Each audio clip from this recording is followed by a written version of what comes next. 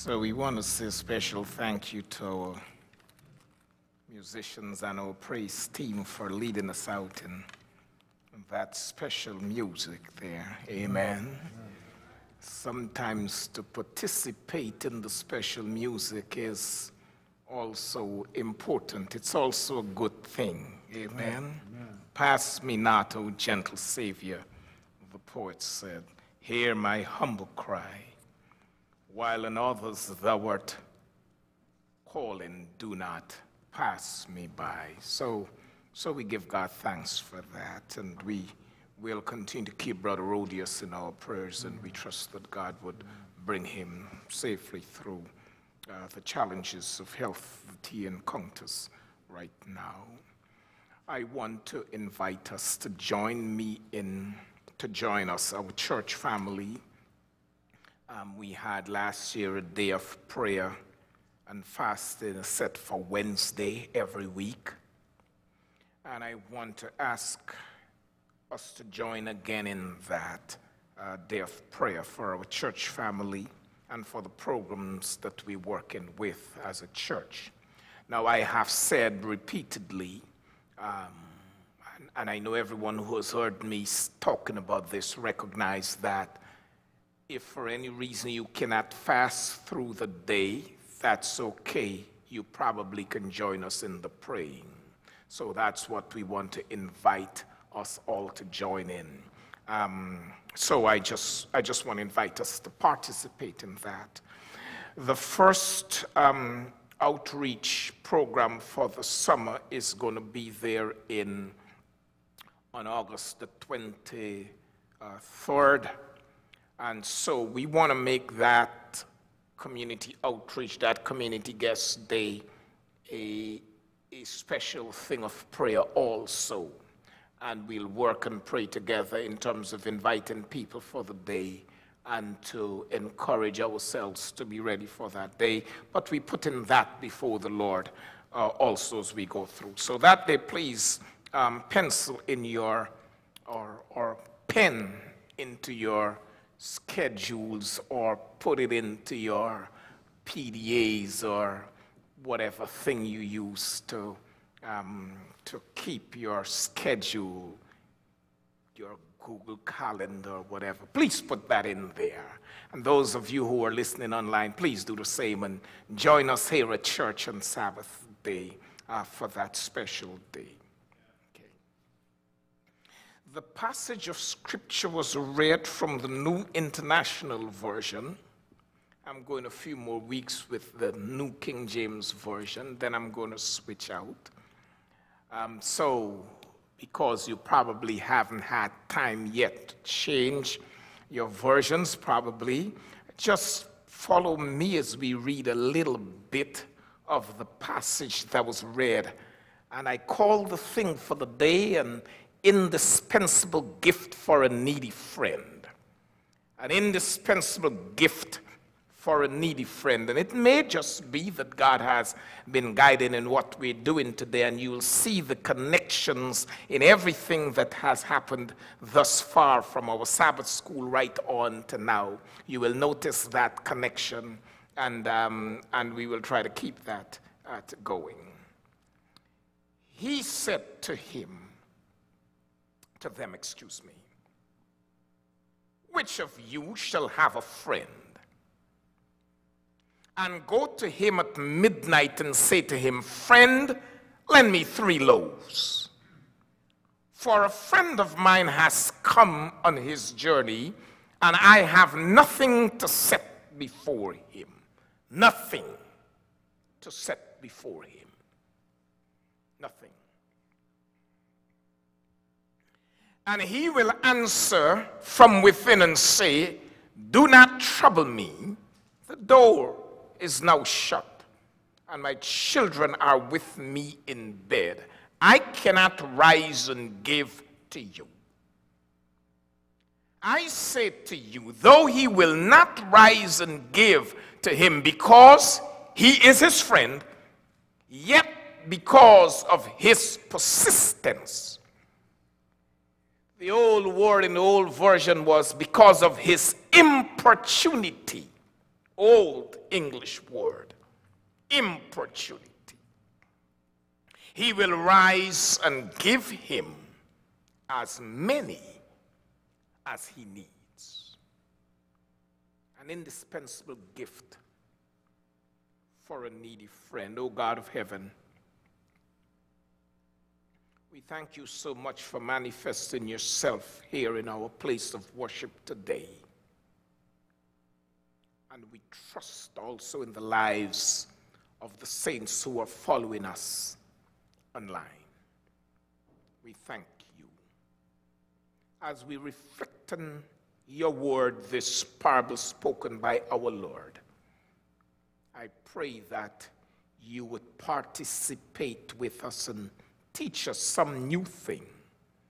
And now may the words of my mouth and the meditations of our hearts be acceptable in your sight, O Lord, our strength and our Redeemer. Amen. Amen. There have been times in our lives, I'm sure,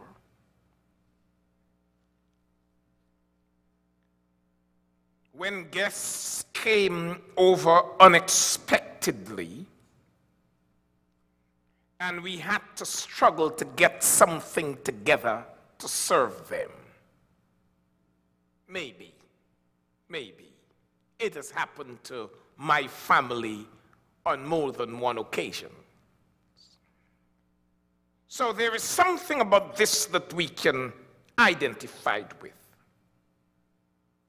Nobody wants to be in a situation with nothing to serve a friend who suddenly visits. In this parable, we can let our minds return to the place of New Testament happenings, the culture of the day. A man and his children typically slept in the same space and the houses were built, the architectural technology of the day made it so that when people went to bed, they locked themselves in from the inside. And sometimes, in some settings, it was a contraption which required some work.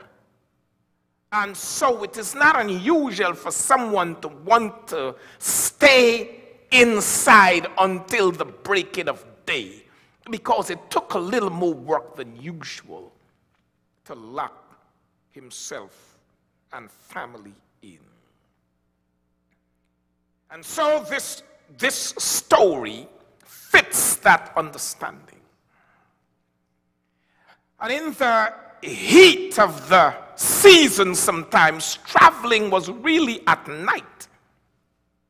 And because traveling was really at night, it is not improbable for a traveler to arrive at somebody's house during the night. This here says in the Greek the meso, mesonuktion, the middle of night. It was not unreasonable for that to happen. So that's what happened on this occasion. Somebody came and arrived at midnight. And so the friend, it's not unusual also for somebody to be without bread because very often the, the budget for bread was bread enough for one day. They'll bake in the community, and sometimes the family may not have more bread than for the day in question. So it's not unusual for a person to not have bread during the night. He'll bake tomorrow. But also, it is not unusual for somebody to know who has bread. Because they baked in such a way that within the community, generally people would know, well, Horatius doesn't have bread, but the Smiths have bread. So they'll go across and ask the Smiths for bread because in the community it was known who had and who didn't have. Also, it was not unusual for an individual to feel if he or she is called and asked uh, to give bread, the person would generally recognize, yeah, this is a part of my responsibility because the guest that came by was usually perceived as the community's guest and not just the person's guest. So when the person was getting ready to leave, usually the person in whose house the guests stayed would usually say, Thank you for blessing our village with your presence. Not thank you for blessing me with your presence, but thank you for blessing our village. The guest was understood to belong to the community. Are you still with me? So that's how this story develops. And so Jesus tells the story that the host had no bread that's not necessarily implying a sense of poverty, a sign of poverty. Bread for the day was baked every morning. And so the story starts out. I think the story starts out. And the story says there in verse 5, it says there, the friend came at midnight. And he went across to the neighbor and said to another friend and said, Come, give me some bread. He said, Lend me three loaves because somebody came to visit and I have nothing to give. The parable, I think, is illustrative of that part of the parable, I think, is illustrative of every person who calls himself Christian and is involved in God's work. What is illustrative? Stay with me. In this logical theme, every one of us can identify with somebody with nothing to give. Nothing to give. That is the logical theme of every Christian worker in the world. Of our own selves, we have nothing. Am I making myself clear? Of our own selves, we have nothing. I have nothing to give to set before him, nothing to serve the visitor is the logical theme of every Christian worker in the work of service. In this world of service, each of us needs to start to conceptualize ourselves as having nothing. Why? Because everything is in somebody else. Every morning, Upon our rising up, we have nothing to give. Nothing to give for the day is a logical theme. God delights in bestowing benefits upon people. And we can identify with this friend who had somebody, this, this, this host, who had a guest stop by and had nothing to give. Churches sometimes do not recognize the reality of this. Christians sometimes do not recognize this reality, and we sometimes pride ourselves into thinking that we have to give. No, the Bible is saying here, I think by analogy, that we have nothing to give. Churches, if we do not understand where we stand and how we should be standing with God, we could be calling ourselves churches, but in fact, we have nothing to give. It's a certain realization that we need to come by. The farmer, and so, and so, and so, he turns to somebody to look for help. The parable is introducing us to the true nature of prayer, I think. When an individual gets down to praying, we can we can just linger a little bit on that. When an individual gets down to praying, the nothing to give makes us now turn to a certain reality, a certain practice which Christians should be engaged in, and that is the act of prayer.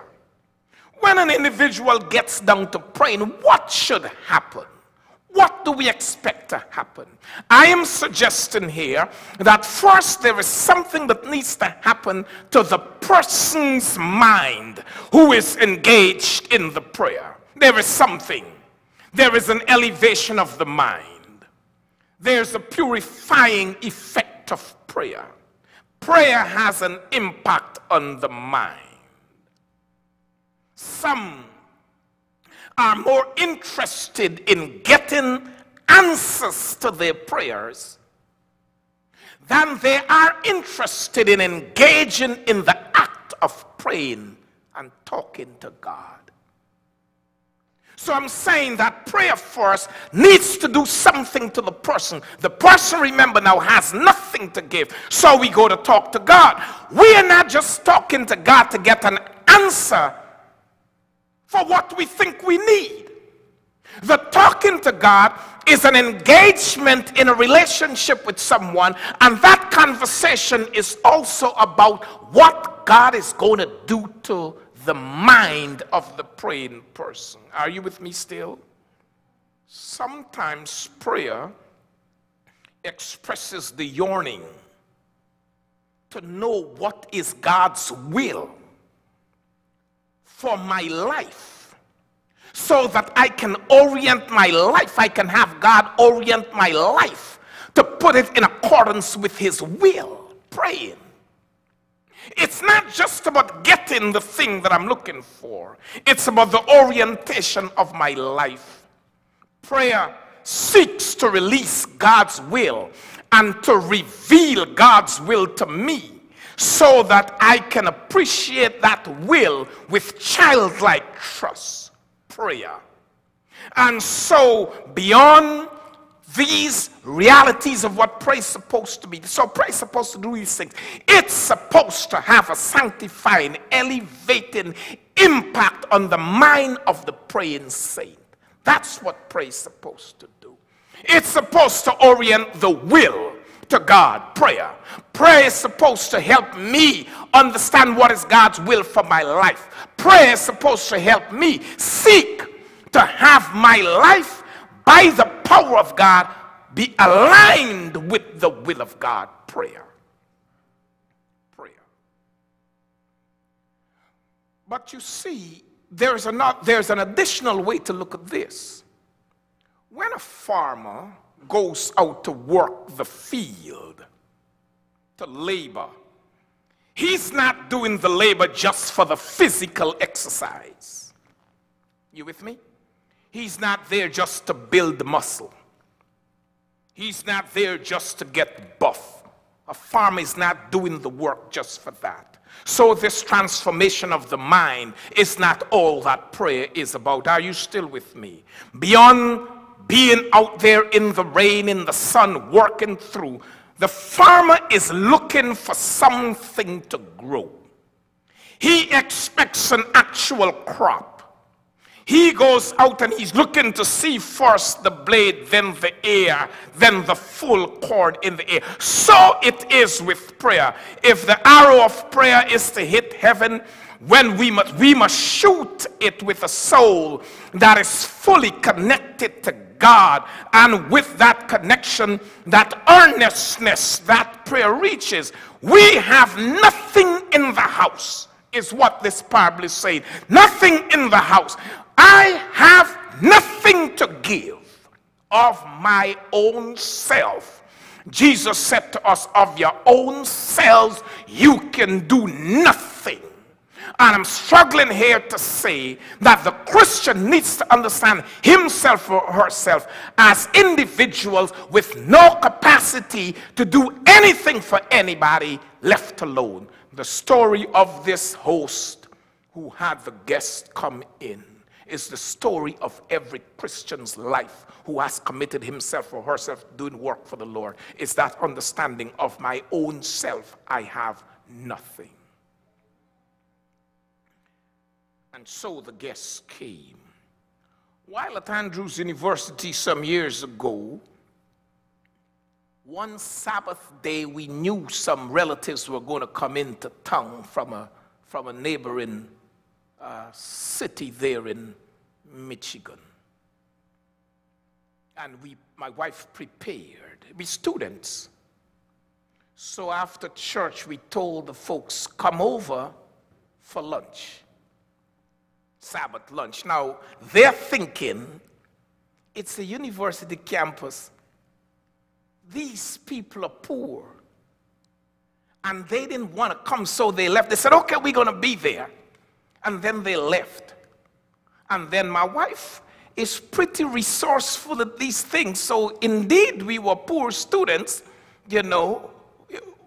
I don't know, we are always, we've always been poor. So the poor is not just about the students' part, you know, it's just poor. And she, so she had a good something prepared, and we waited, and they didn't show. Later on, they called, and then they came over. They said, Well, we know you all invited us, but we weren't, we weren't certain you all had anything to offer us. We didn't want, we wanted to save you the embarrassment. Well, we had something to give. This man's story says he didn't have, and so he went to the friend who he knew had. And that's my second point of the day. If the story is letting us know that of our own selves, we have nothing. Every Christian worker needs to have that realization. But secondly, the story says, the story says, this, this, this friend that he's going to is a representative of God. According to the parable, the friend that he goes to is a representative of God. Why did he go to the friend? Because he knew that this friend had everything he needed. And so, this story tells us that though we have nothing, we have a God to whom we can go. We go to him because God has everything. And he is able to give us everything that we need. Importunity is the word used there. He goes there, the story says. So I'm saying, secondly, the story saying to us, though you have nothing as a Christian, that is not a lost state. There is a God who has everything. And we can go to God who has everything because he is able to give us all that we need. That's where the prayer starts to form itself in a meaningful way. And so he said he goes there and he calls. He calls from the outside. And the friend says, What's the matter? He says, Well, I have somebody who just came by to visit. Just arrived at midnight and I need some bread. He said, Lend me three loaves. And the friend said, Man, listen, I'm in already. Don't bother us. And Jesus said, according to the parable, but he doesn't leave. He uses the word that is translated persistence that's translated importunity. The word literally means, I'm going to tell you what the word literally means. It comes from the Greek anandia. It means, it's used, this is the only place this particular word is used in the New Testament. It literally means a total disregard for domestic decency. Inattention to the neighbor's privacy and comfort. It refers to a persistence a behavior that has a shamelessness in its persistence. Are you with me? Importunity. It is shameless persistence. That's what it is. It is a persistence that continues, even though there have been insults hurled at the one making the request. It is a time of type of behavior that continues even though somebody is insulting you. That's what this is. That's the word Jesus uses. We're going to get to God's response later on, but this passage is saying, this story is saying now, we have nothing, so we go to God. Prayer is the work of importunity.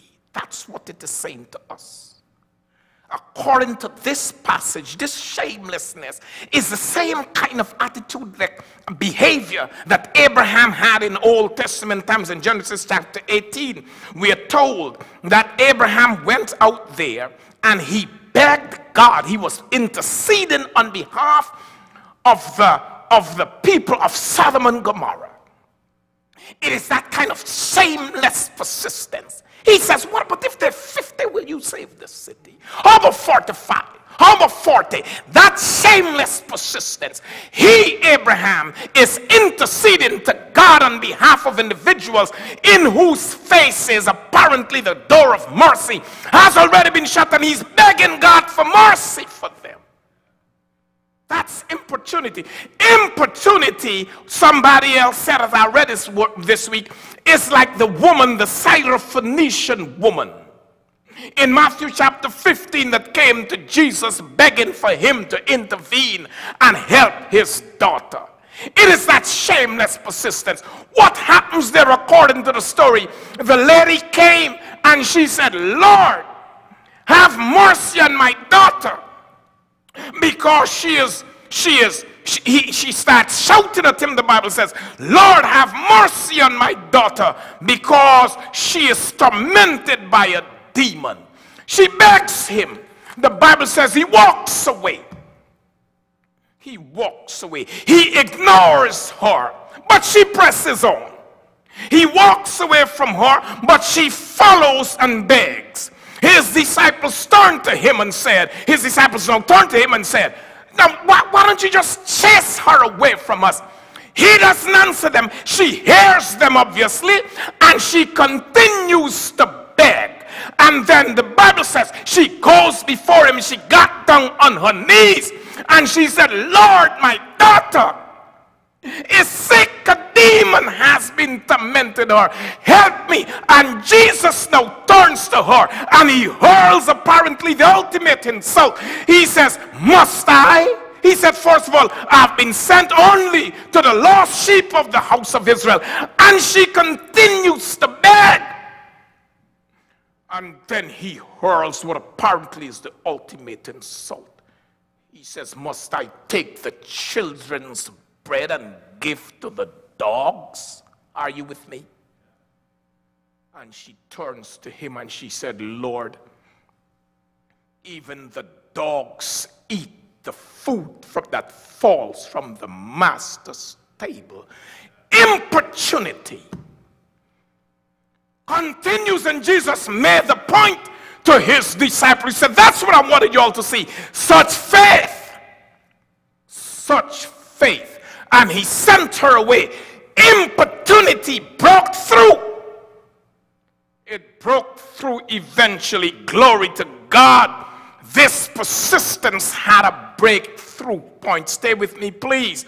I'm speaking of importunity as if it is a person. I'm speaking about importunity, this persistence, as if it is the name of somebody as if my name is there or your name is there. I'm speaking as if any of us can put our names there.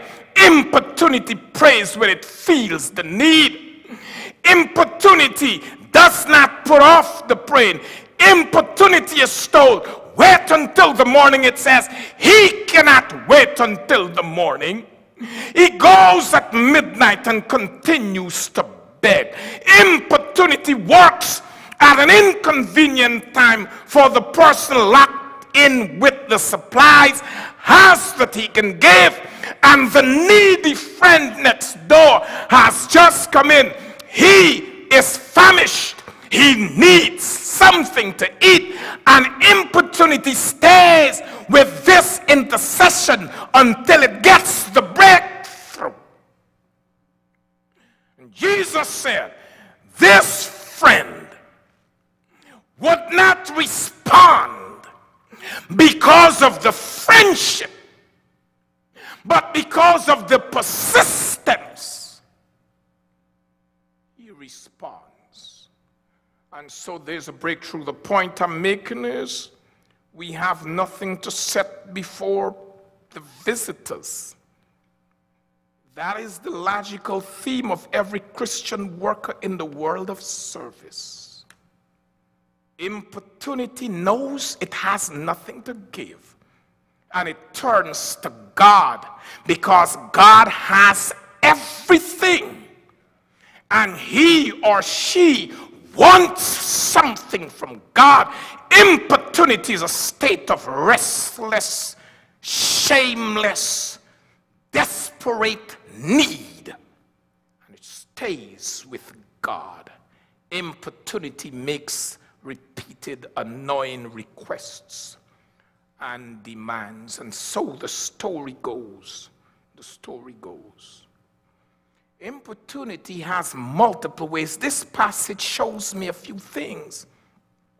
It says here, first of all, and this brings me importunity, this persistence has multiple operational dimensions, so to speak.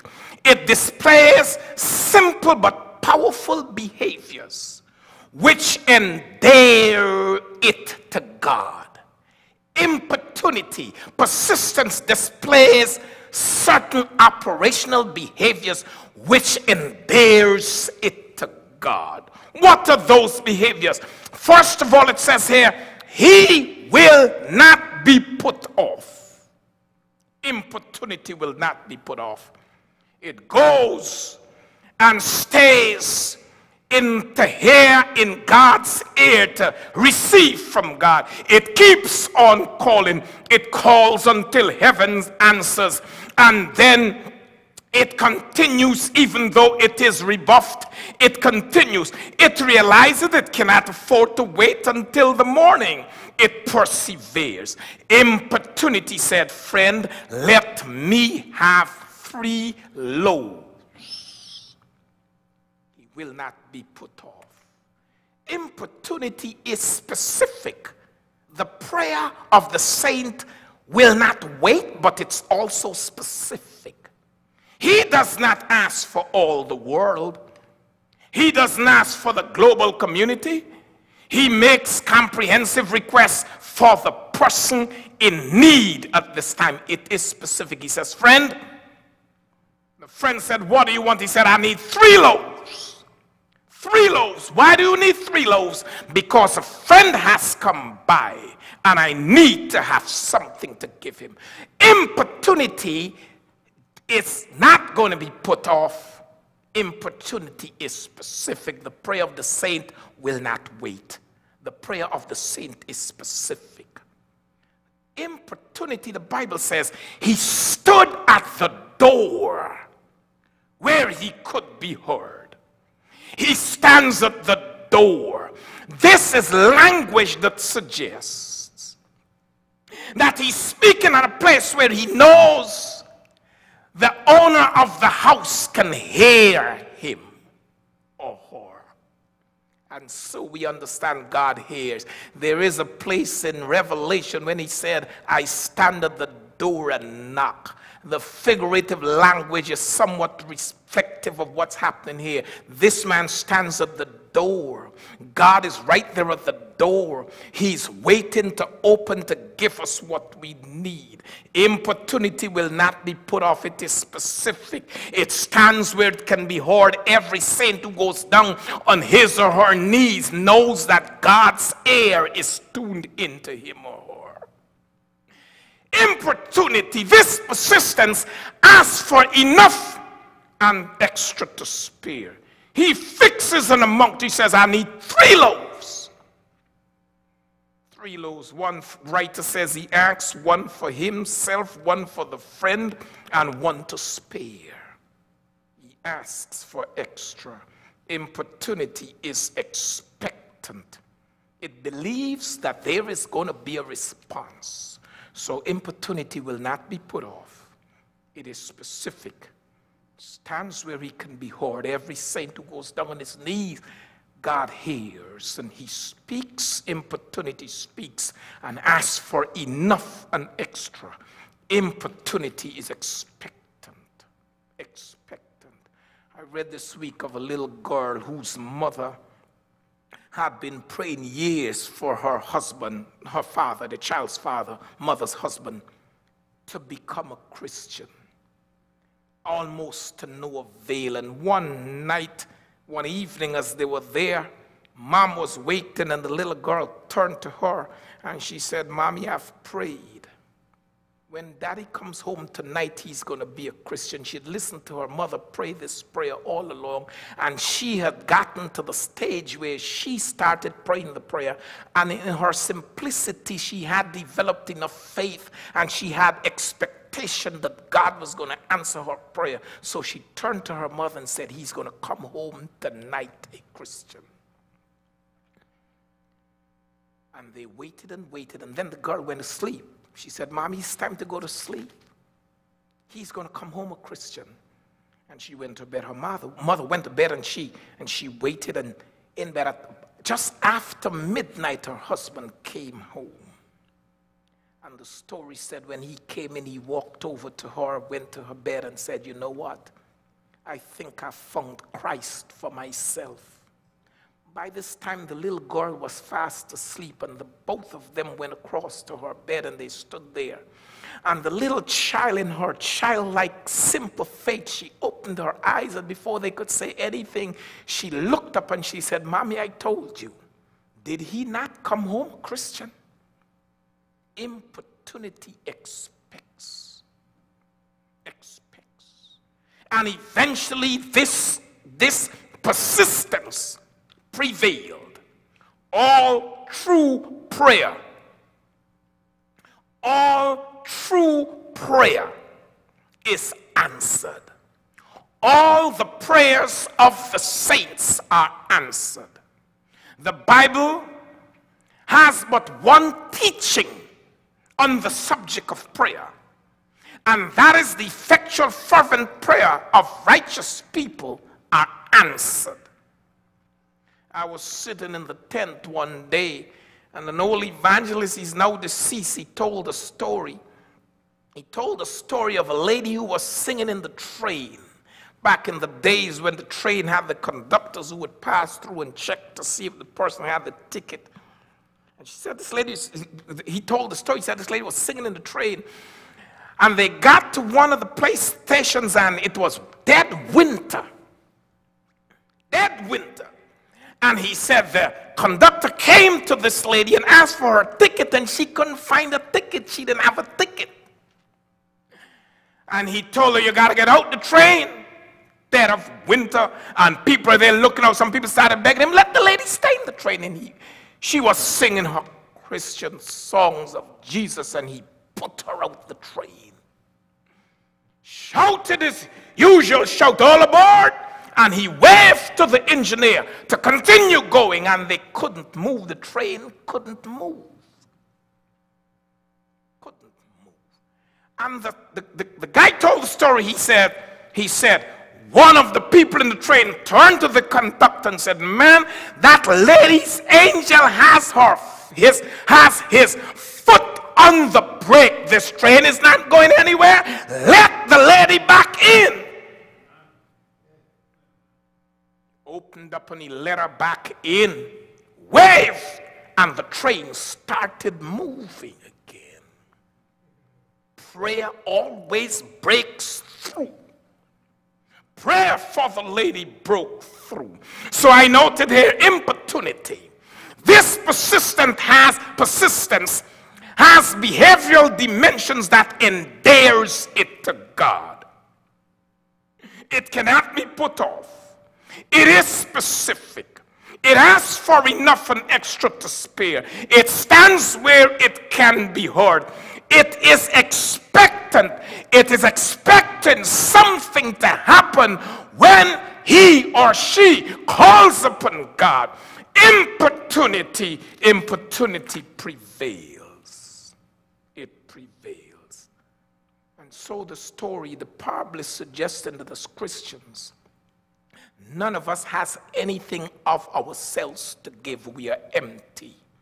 It is the logical theme of every Christian worker in the world of service. Importunity goes to God because God has everything and she wants something from God. It's a state of restless, shameless, and desperate need Importunity has multiple operational dimensions. It displays simple behaviors, powerful, simple behaviors that endears it to God. And so the Bible says, so, he says here, I say to you, I say to you, though he will not rise and give to him because he is his friend, he will because of his persistence, he will rise and give him as many as he needs. Three loaves.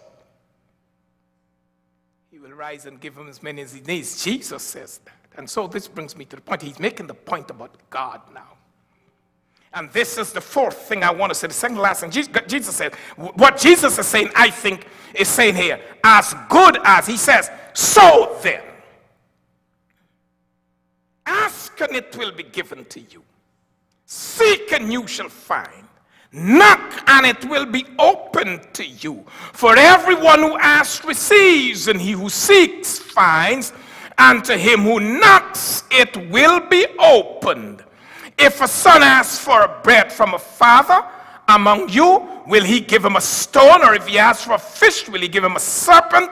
Or if instead of a fish, or if he asks for an egg, will he give him a scorpion? If you then being evil, that's how he says.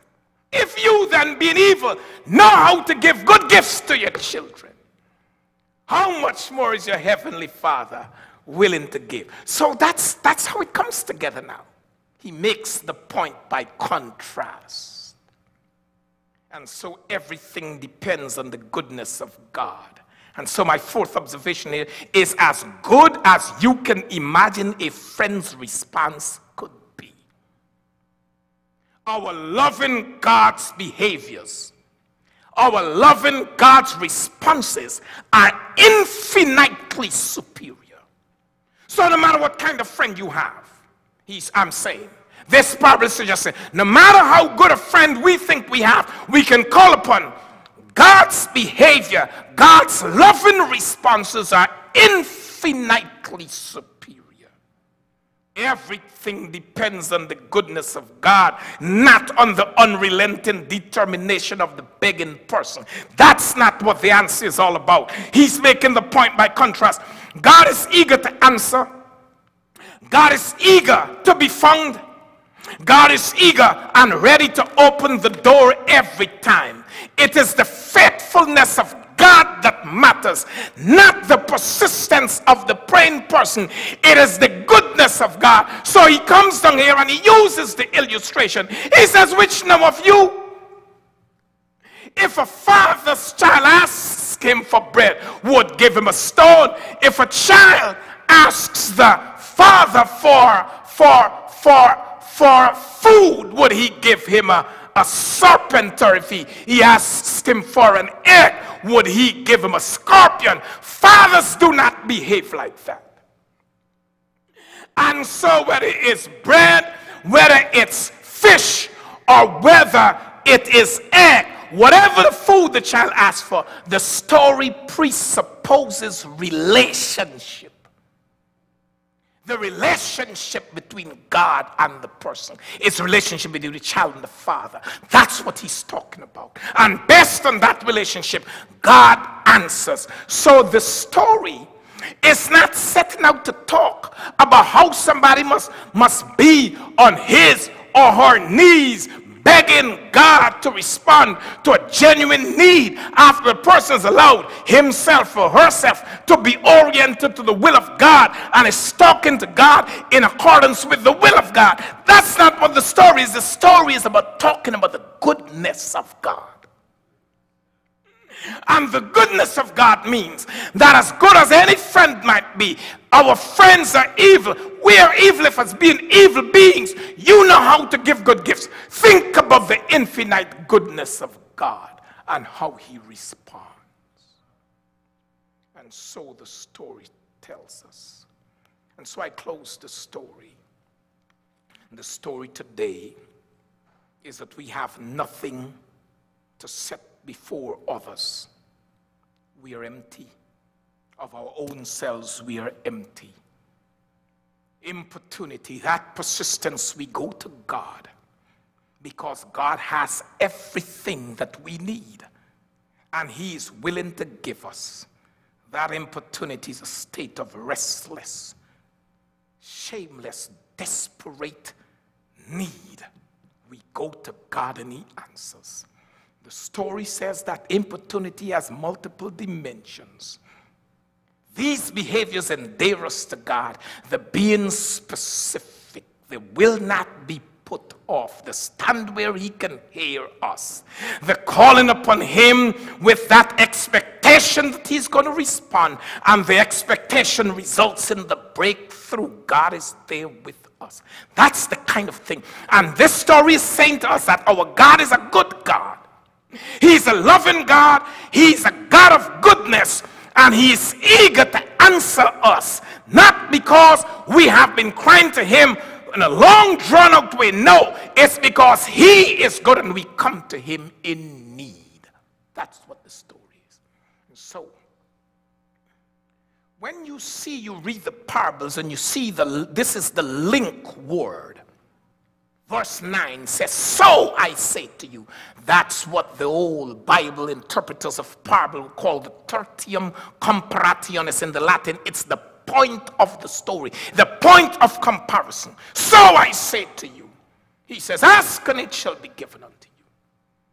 Seek and you shall find. Knock and it shall be opened unto you. Tells them, which one of you, your son ask you for bread, you will give him a stone. Which father among you shall ask for fish, will give him a serpent, or ask for an egg, boiled egg, will go and give him a scorpion. Who would do that? Nobody was. The way he frames the question, the author is the, the, the writers are suggesting he frames the question expecting a negative answer. No, he wouldn't do that. And so the story ends. Here's where it gets messy, but in a positive way. This story is not about God answering certain types of prayers.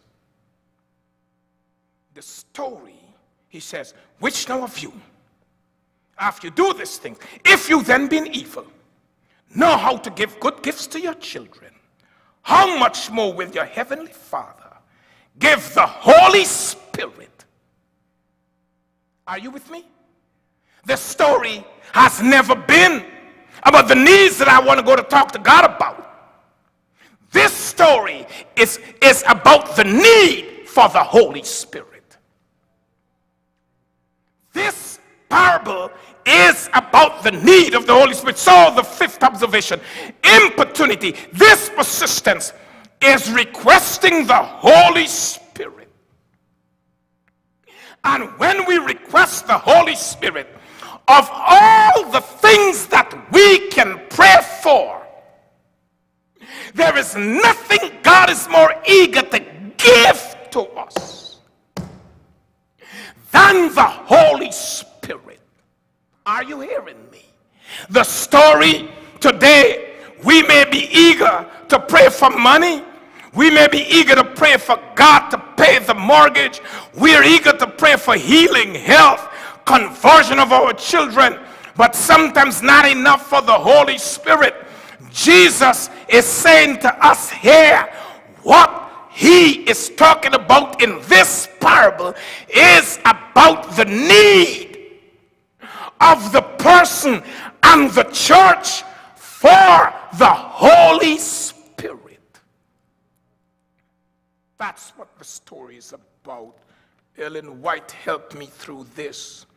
She said, When men take themselves, work with me, please we're almost done, but I just have to get this in. When men take themselves, she says in the book Steps to Christ, page 101, when men take themselves out of social life, away from Christian duty and cross bearing, when they cease to work earnestly for the master who worked earnestly for them, they lose the subject matter of prayer and have no incentive to devotion. Their prayers become personal and selfish. They cannot pray in regard to the wants of humanity for the uplift building of God's kingdom, pleading for strength wherewith to work. Are y'all with me? It is my considered opinion that many people who refer to themselves as Christians have removed themselves from the work of God. she's saying, not engaged in the sphere of Christian duty. And all they can do is pray for selfish things. They have lost the desire to pray on this one subject matter for the Holy Spirit. That's what she's saying. We sustain a loss when we neglect the privilege of associating together to strengthen and encourage one another in the service of God, the truths of His Word lose their vividness and importance in our minds. Our hearts cease to be enlightened and aroused by their sanctifying influence, and we decline in spirituality.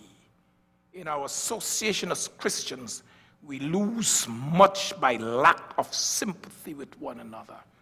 He who shuts himself up to himself is not fulfilling the position God designed that he should. And so that's really what we have. John talks about God sending us the Holy Spirit.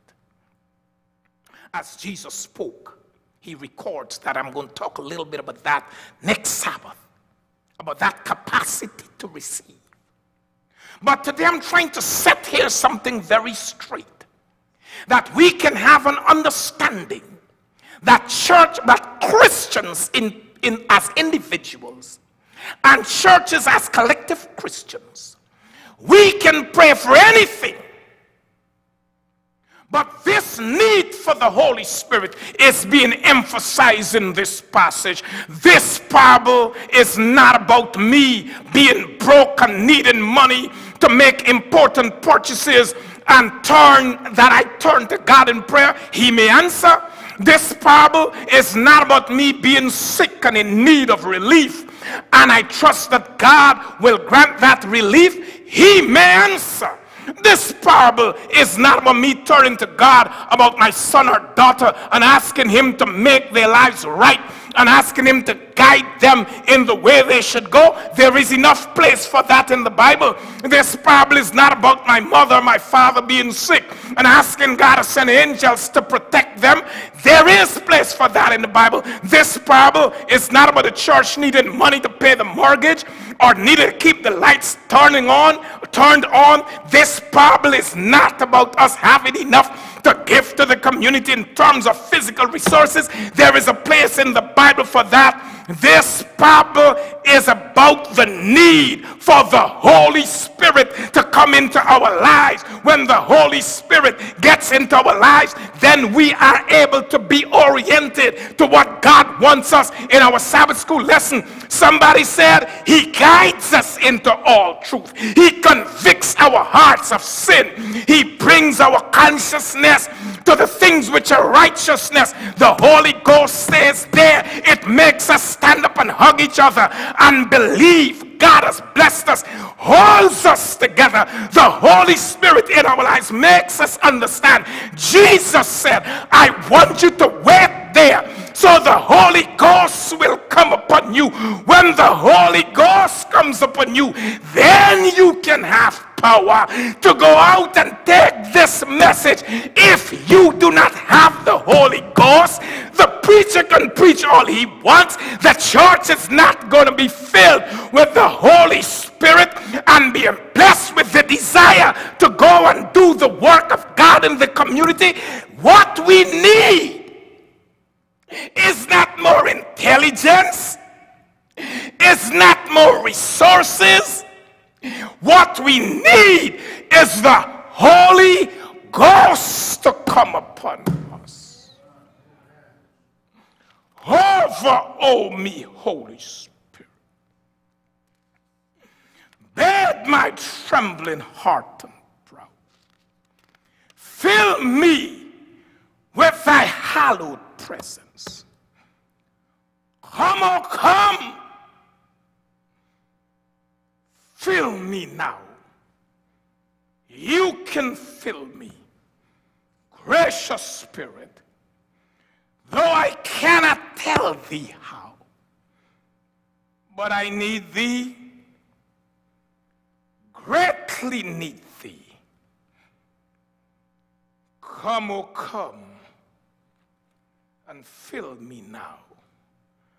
Brothers and sisters, he said, How much more? Whatever we have asked God for, almost invariably he grants the requests. And so Jesus is saying, How much more? How much more? I read this week where somebody said there are many people who are calling themselves Christians. They have no particular need, desire, excuse me, no particular desire to really be Christians and to do the work that God asks them to do on the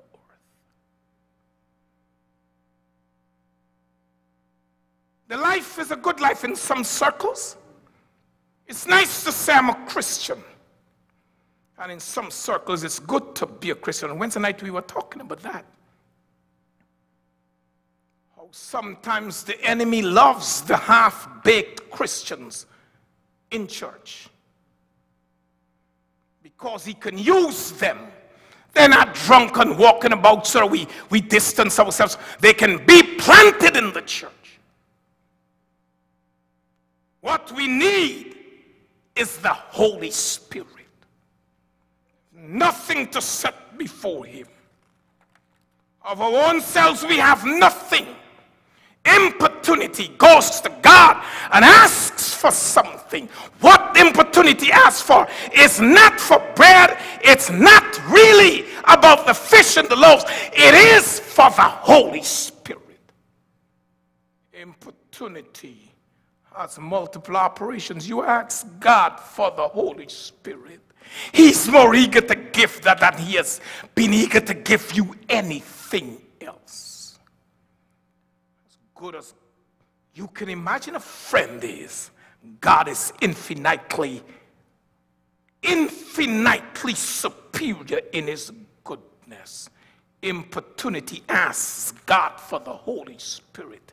And he's more eager to give that. The Holy Spirit was the flame that burned in saints of old.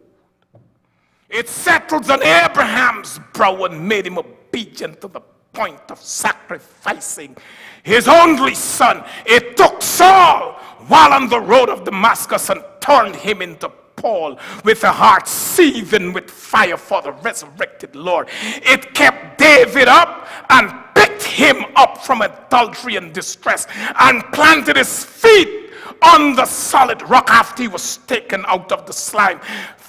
This, this Holy Spirit made Job endure the time of death, destruction, and disease.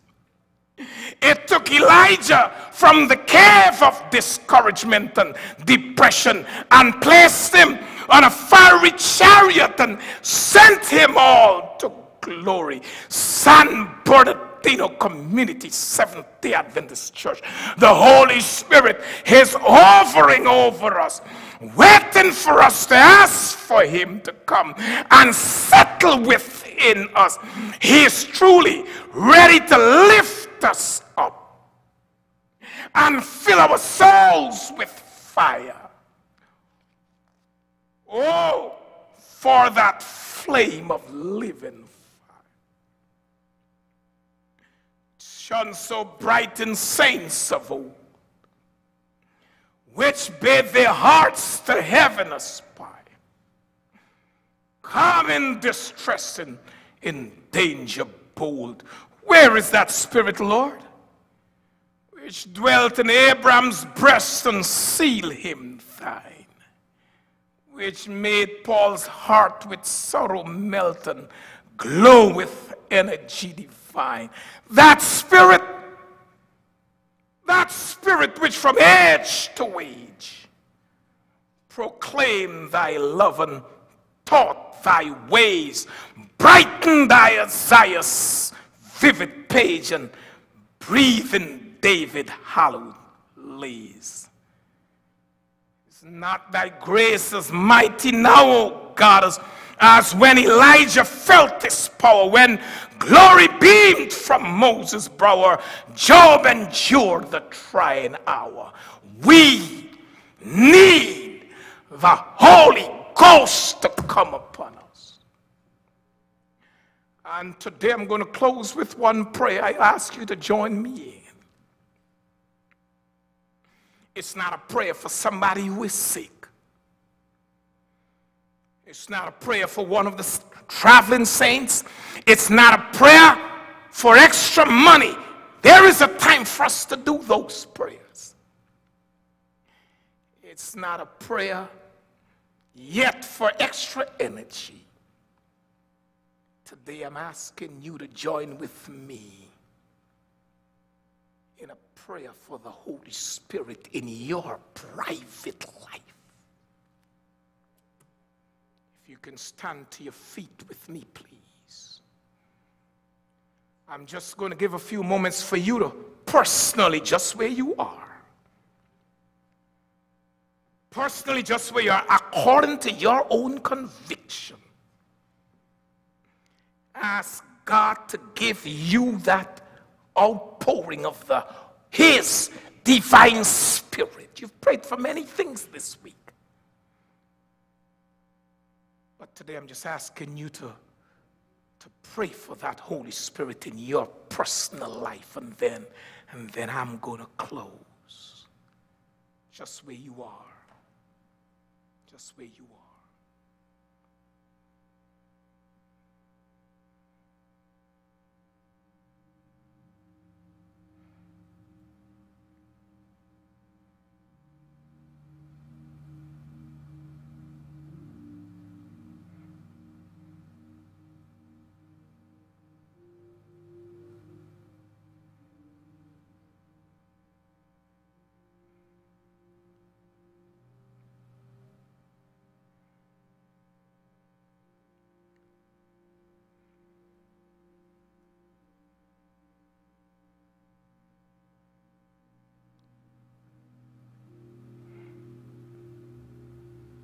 O God of heaven, O God of heaven, in your holy word you, you have revealed the power of your spirit. And I know that what we need is the Holy Spirit. Because as I look at the church, the days of Pentecost, I remember reading how Jesus said, I want you to wait here for the Holy Spirit. In spite of that, somebody said, Will you at this time restore your kingdom? He said, That's not our discussion now. It's not the wealth and the power of position, it's the Holy Spirit. And he said, Wait. And he said, You shall receive power. After that, the Holy Ghost has come upon you. I know, I know their financial resources didn't change. They gathered together in a certain place and they asked for the Holy Spirit. And according to Acts chapter 2, they called upon your name. It was the same church, the same frail, cussing, conniving human beings. A few days before, and then the Holy Ghost came upon them. I know your power. I notice your power. And when it came upon them, the same people were blessed with that divine power, cloven tongues of fire came upon them. And they went out to do the work. Same people, same resources, The difference was the answer to the prayer for the Holy Spirit was realized, oh God. And they were never the same thereafter. So I know you can do the same for us. I know you can do the same. So we ask you today to fill us with your divine spirit. That spirit will now orient our wills, our desires, our engagement in service according to your will. And you will thereafter empower us to do your work. God knows we need the Spirit. So, God, answer us. Answer us today. Oh God, remember now the ancient days. Renew thy word, thy grace restore. And while on thee our hearts we raise, on us thy Holy Spirit pour. In Jesus' name, amen. Amen.